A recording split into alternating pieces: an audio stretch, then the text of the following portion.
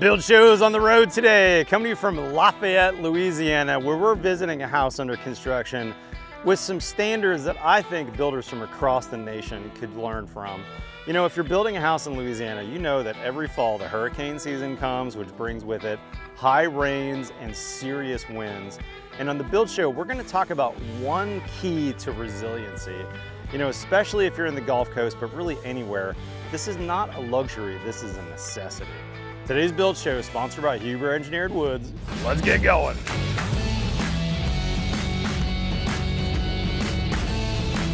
Hey guys, let me introduce you to Isaac Scott with Clare Homes. You know, Isaac, you've lived here your whole life, right? What's the problem with houses in this part of the world when there's hurricanes hit? Well, Matt, the biggest problem is really your roof. Your roof is your first line of defense Yeah. if, of your home. And so if your roof comes off during a, category two or three or four or worse hurricane, then what happens is water enters into the home. Mm-hmm. It damages the insulation and the sheetrock and all your personal belongings inside the house.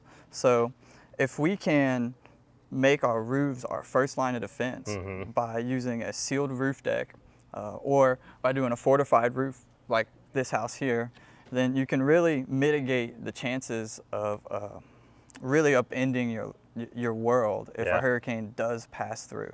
Let me expand on that a little bit because that's actually an issue even for us down in Texas quite a bit. And I'm, I'm not coastal at all, I'm way inland.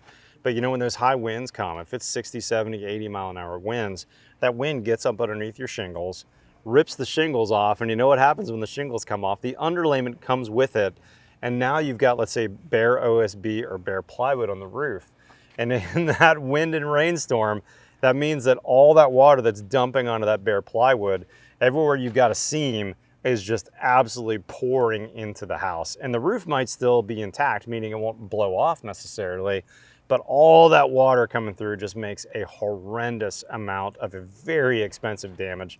You basically end up flooding your house. Your ceiling caves in, all your insulation's over all your stuff, everything's wet. This product right here, which is relatively new from Huber Engineered Woods, this is Zip System peel and stick underlayment. They make this in two flavors. They've got a standard temperature and an HT, a high temp. Uh, you're definitely hot. It's 90 degrees here in the fall Yes, sir. outside. And if you're not familiar with this, a lot of northern builders uh, are familiar with these full peel and sticks. We'll use this for ice protection uh, in the north. You know, we're, we're making sure that if ice happens, uh, you know, we've got a cold day and then a sunny day, that nighttime freeze of that ice will actually back that water up underneath the shingles. And a full peel and stick like this gives you protection from ice damming.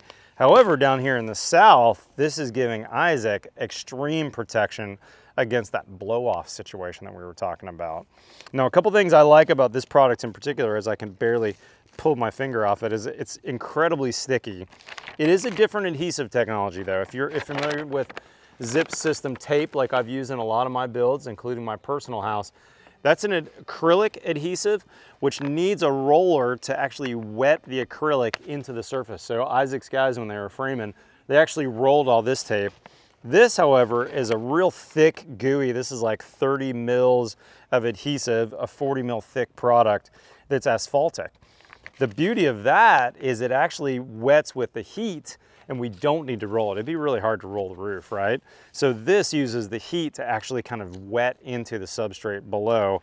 The other nice benefit of having that real thickness, Isaac, is it mm-hmm. does a lot of nail sealing, right? There's a lot of Yes. nail sealability because we've got that really gooey adhesive on the backside. And the high temperature version that Isaac's got here will go up to 260 degrees. The regular version that you might use up in the north, I believe it's 180 degrees. So you actually have quite a bit of high temp uh, ability here. Isaac, what's underneath that peel and stick? Because I didn't get a chance to see the job prior to today. Yeah, absolutely, Matt. So underneath the peel and stick is a 5 8 inch roof decking. Okay. It's the the zip system roof decking. So it's, the brown zips It's the brown there. zip. Okay, That's right. gotcha. Yep. And it's uh, it's nailed every four inches with a two and three eighth inch ring shank nail. That's Okay. the fortified requirement. Gotcha. So you've really, that thing's not going anywhere. It's not going anywhere. Gotcha. And then Um, you've taped all those seams first, I'm assuming, before you put this on too, right? That's right. All the seams are taped even underneath the peel and stick underlayment. So you really have two layers of protection. You really have three layers of protection with the That's awesome. the brown Yeah. coating they put on it, and then the, the three inch or four inch seam tape, Yep. and then the peel and stick on top. You know, one of the reasons why I started using Zip System roof sheathing years ago, more than a decade ago now, was frankly because I liked that my framers could leave me dried in and I didn't have to wait for my roofer to come back and felt it in a couple days later. I was susceptible to storms for a few days before those guys came to, to wet my house in framing, right? Not a finished house. But I really like that it was taped. And so from an early on uh, adopter, I realized, hey, there's a lot of advantages to having that tape up there.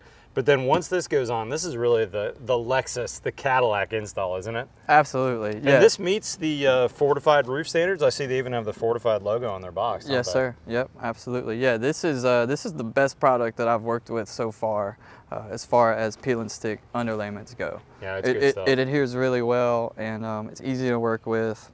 Uh, you don't need cap nails to put it down, Mm-hmm. uh, and it seals around the nail heads as well. That's a really good point. You're not using cap nails, which would just add that many more penetrations to the roof, right? Because you're That's just right. peeling that backer off.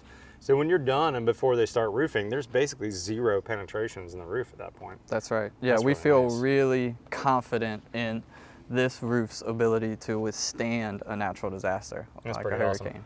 Impressive. Guys, big thanks to Huber for sponsoring today's video. If you need a great builder in this area, I don't know how far out of town you guys work, but uh, if you're in Lafayette, you should definitely contact these guys. Isaac, anybody that uh, you want to mention in your uh, in your organization? Yeah, absolutely. So we're actually doing a joint venture on this house uh, with a buddy of mine. That's Tylock Homes. Um, and also, I just wanted to give a quick shout out to EEBA, where uh, that's the Energy and Environmental Building Alliance. They've played a big role in our development as a company, and uh, we really were, were lost in the high performance world before we before we connected with EEBA, and also found you, Matt, and then also uh, LaHouse. La House is a uh, high performance showcase home at LSU. In Baton Rouge? My alma mater. Your alma mater, yeah. Go Tigers. Where you got your construction management degree, right? That's right. That's right. Yeah, LaHouse has played a uh, major role in our development as a company as well. My, my really wife cool. works there, and uh, And as a side note, this house will be for sale in a few months. So you contact these guys if you're looking for a super well built house that's actually quite affordable here in Lafayette. yes, absolutely. Y'all give us a shout. Um, we'll build anywhere in the state, uh, but we are based out of Lafayette. Impressive, man. Guys, really appreciate Huber for sponsoring. If you're not a subscriber, hit that subscribe button below. We've got new content here every Tuesday and every Friday. Follow us on Facebook or Instagram. Otherwise, will you help me out at the end? Absolutely, man. We'll see you next time. on the Build Show.